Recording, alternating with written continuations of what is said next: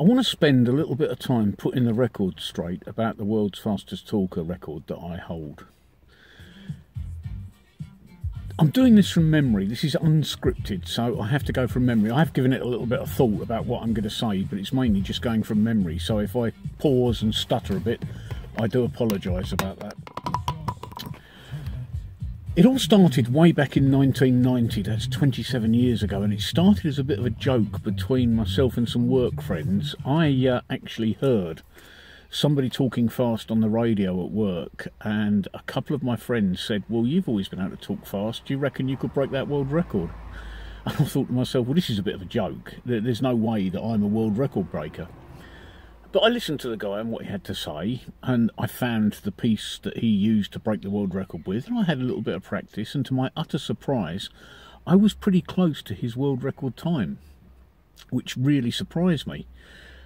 And from there, I thought, well, if I'm that close to the world record time, with a little bit of practice, maybe I can actually break the world record. So I spent hmm, maybe five months learning how to talk fast and picking my speed up it, it actually was quite easy, um, and I actually got to above his record speed. Then I sort of hit a wall that I couldn't get much past his record speed, but I thought, oh well, let, us let's, let's give it a go. Um, my efforts have been noticed by a television production company, and they invited me onto their show. It was a kids show, actually, a Saturday morning kids show. They invited me onto their show to see if I could break the world record. Now, when I went on to the show, the world record was about 520 words per minute. What I aimed for when I was on the show to break the record, and this was done live, what I was actually aiming for was I was actually aiming for 550 words per minute, which would, you know, ensure that I was I had a good decent margin above the existing world record. However, something happened on the show that day. It was, it was I think it was the, the, first time I'd ever appeared on television. I'm, I'm not an entertainer by nature. I'm, I'm, I'm not one of these people that does anything to appear on TV. And I, I was a bit nervous, and I think the adrenaline got me going. So much so that not only did I meet my 550 word target, I actually found that I'd stopped speaking at around 52 seconds. The whole thing was the whole script that I had was for a minute long but I actually finished it after 52 seconds, and we sat down and we worked the timings out, and it turned out that I'd actually done 620 words per minute. Now, I've seen a lot of the comments on my YouTube videos. I, I, tend not to answer them because, to be quite honest, most of you are just talking out of your asses. I can tell you that it was checked using proper equipment. Um, I believe the machine was called a clarifier, and what happens is, is the voice is recorded, the pitch is remodulated, it's slowed down, and every word is checked for clarity by expert speech pathologists. All right, these are not people off the street; these are people that are experts in their field. Turns out that out of the 614 odd words that I spoke, I mispronounced just 12. So they disallowed those 12, meaning that I'd spoken something like 600 words in 53 seconds. When they'd done the maths, that equated to a speed of 637 words per minute. No, it didn't. It equated to a speed of about 620 words per minute, all told. And that generated a new world record, which Guinness naturally honoured me with. A couple of weeks after that, a young lady in New York, Fran Capo, broke my existing world record. Couple of weeks after that, I had the opportunity to demonstrate my talent again, and again, the conditions were so right that this time I broke her record, leaving me with the world record for the second time. This time, the time was judged at 637 words per minute.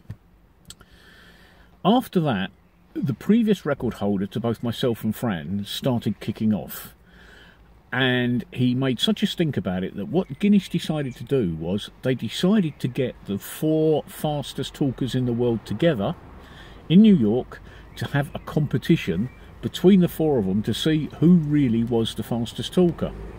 This competition involved each of us being given the same passage from a book that none of us had seen before with just 12 hours notice to memorise and practice this piece. Then we went live on television, and I think it was Good Morning America. I've never been able to find the video of this. I'm pretty sure it was recorded, but I've never been able to find the video of this. I'm sure it was Good Morning America. We went on live, and all four of us had a talk off. No, it wasn't four of us, it was three of us. There's a story there. I'll come to that in a second. It was three of us. It was myself, John Moschitta, and Fran Capo. Sean Shannon, who has the record for the world's fastest recital of Shakespeare's Hamlet soliloquy, was invited to take part as well. However, it's my understanding that he declined because the only thing that he can do fast is Hamlet's soliloquy. He's not like me or Fran or John, who can naturally talk fast for any uh, any passage in the English language.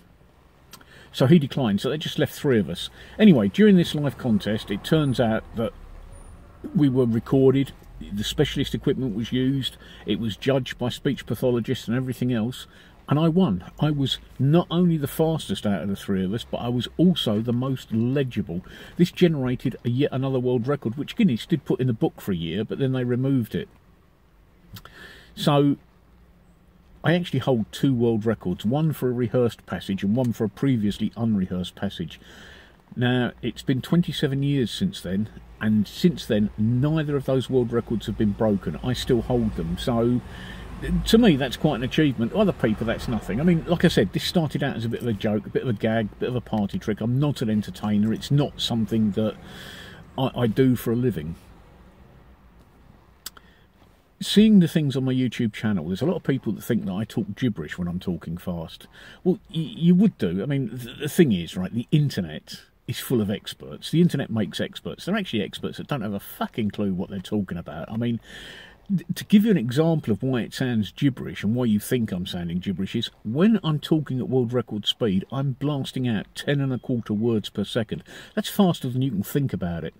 What that means is by the time you've thought about a word that I've said and registered a word that I've said, I'm five or six words ahead of you. So you're always playing catch up. So it means that if you've heard three words and registered three words, I'm actually 15 words ahead of you. So you'll never ever get to understand exactly what I'm saying unless you're extremely familiar with the passage that I'm saying. And trust me, I've been checked by experts. The words are there. I'm not slurring them. I'm not missing them. I'm saying each and every word complete. So all you that think that I'm just talking rubbish and just talking you know, making it up as I'm going along. I'm not. It's been checked. It's all there.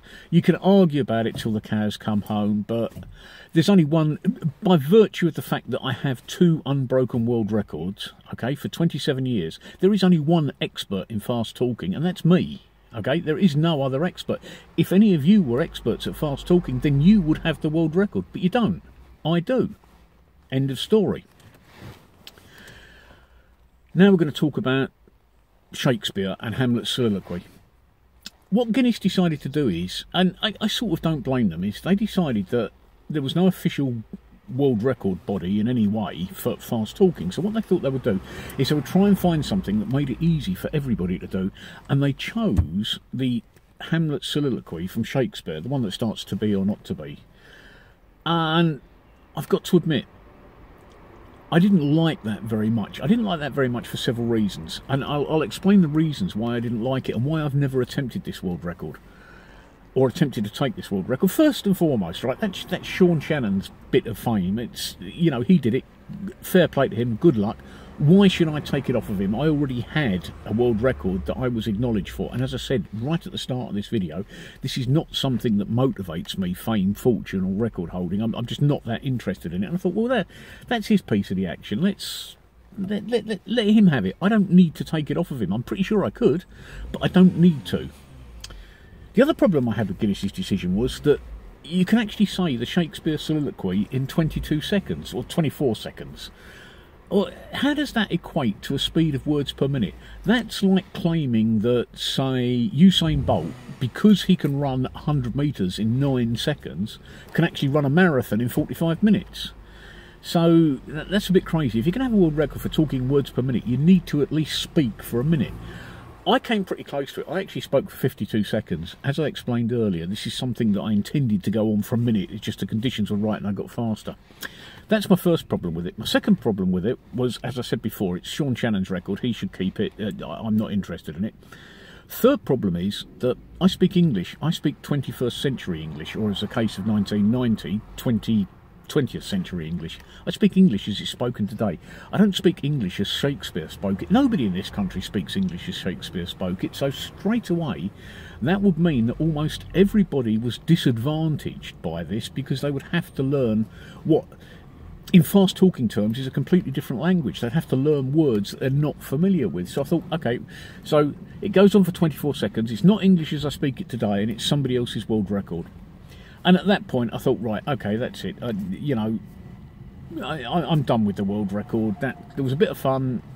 It, it, like I said, I'm not an entertainer. I didn't do this for money it doesn't. I, I don't get motivated. Yeah, I've, I've had some success with being the world's fastest talker, but I've never earned money out of it. Not once, I think I've earned any money out of it at all.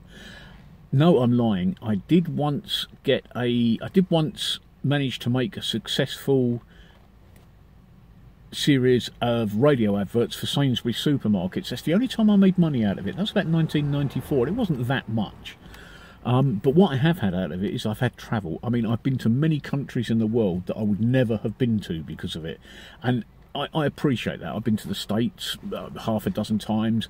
And in fact, I've been to I've been as far away from my home as it's possible to get without leaving the planet. And all this was down to fast talking, where I've appeared on television programs and, and, and done things throughout the world. Again, not for profit and, and not for fame and fortune, because that isn't something that motivates me. Um, two years ago was the last time I did anything with fast talking, and that was for Team GB when uh, the United Kingdom athletes team was going into the uh, Commonwealth Games. And I knew while I was doing that, I knew that my voice was my big letdown. I'd never be able to achieve the speeds that I could achieve before that's if you've watched any of my previous videos you'll know that I have cancer and that cancer has affected my ability to talk fast. It's, it's affected my ability to talk in any way. In fact as you hear I mean we're 11 minutes into this video and already my voice is starting to go croaky for that reason. Um,